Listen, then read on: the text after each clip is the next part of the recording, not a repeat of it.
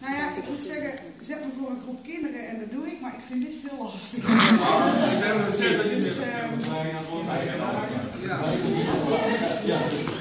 ja, het is toch anders. Eh, ik heb ehm, eigenlijk het laatste nou ja, jaar, denk ik, ben ik eh, regelmatig voor mezelf, als ik het in mijn hoofd niet meer op een rij kreeg, eh, dingen op papier gaan zetten in dichtvorm. En op de een of andere manier lukt het me dan wel.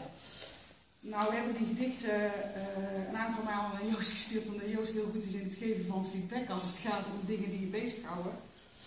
Dus vandaar dat Joost ook een aantal malen zei een gedicht en dan met een scheef oog naar mij keek. Dat ik me eigenlijk wel geroepen voelde. Ehm, ik, heb er een, ik heb er een aantal geschreven. Eentje heb ik speciaal geschreven voor vandaag. Wat het uh, uh, mij brengt, vooral. Ehm, daar wil ik mee beginnen. En als ik het nog op kan brengen, dan doe ik nog een tweede. Maar die is heel persoonlijk. Dus dat ligt een beetje aan mijn... Uh, dit. Goed. Ieder mens draagt in zijn leven een onzichtbare rugzak met zich mee.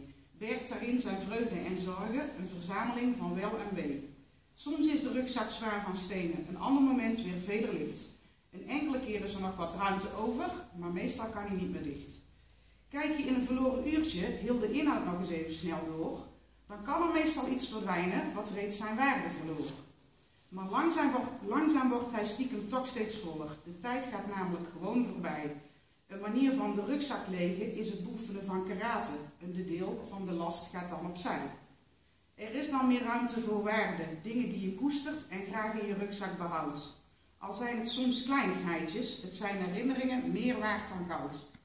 Ieder mens, in zijn leven draagt, ieder mens draagt in zijn leven een onzichtbare rugzak met zich mee. Bergt daarin zijn vreugde en zorgen, een verzameling van wel en wee. Je draagt je eigen rugzak, niemand die hem voor je, voor je kan dragen. Mijn wens voor jullie is dat je hem kan blijven tillen de komende 365 dagen.